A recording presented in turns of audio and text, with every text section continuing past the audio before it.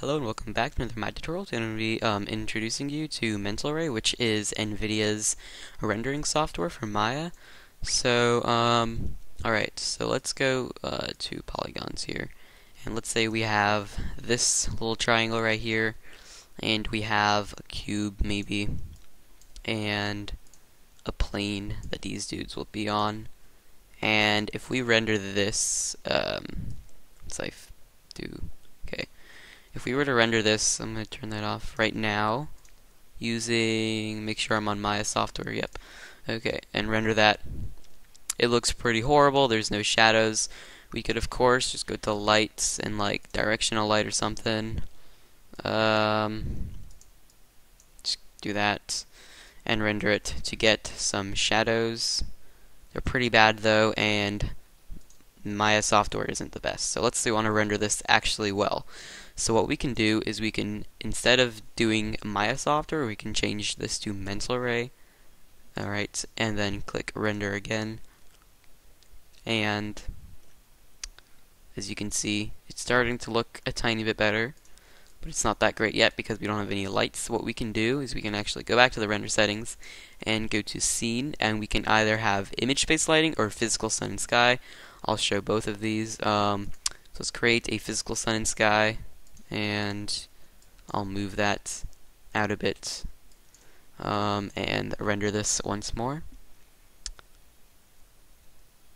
Uh, once it's done, okay, it's done. Mental Ray takes um, a lot longer to render than uh, Maya software, but as you can see, it's worth it because look at this amazing image we have. As you can see, our sun was going down and hitting that, and it kind of shadows over that because this cube's in the shadow except for like, you know, kind of the little top part.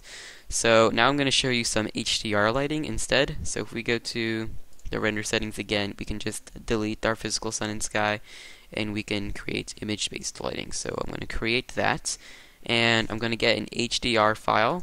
So I'm going to go to where I have, you can find uh, my HDR file, you can find some of these um, for free. Just at our website, just type in free HDR. That's kind of how I found this one.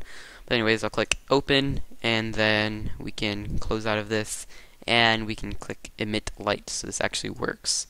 Okay, now, if we try and render this again, um, okay, it's done. We can see that it looks a lot better, and we have our HDR um, doing the lighting and sorts. So that's one thing you can do in there. Um, okay, so I'm to actually do just a tiny bit more here for our simple render, and I'm to delete that plane and uh, go back into our mental range thing right here. Go to advanced. I'm going to make this resolution high. Give this, I don't know, like 10 samples. Um, quality, I'll make that like, I don't know, 10, let's say. Press enter, and I'll render this now, and we'll see if we can see a difference in how well this looks. I'll do it from a different angle as well. So I'll pause and come back when it's actually done rendering. Okay, so Maya actually crashed while I tried to render that. So um, you can kind of see what I was doing anyways, and that is the basics to rendering stuff using Mental Ray. So I guess please subscribe, and thanks for watching.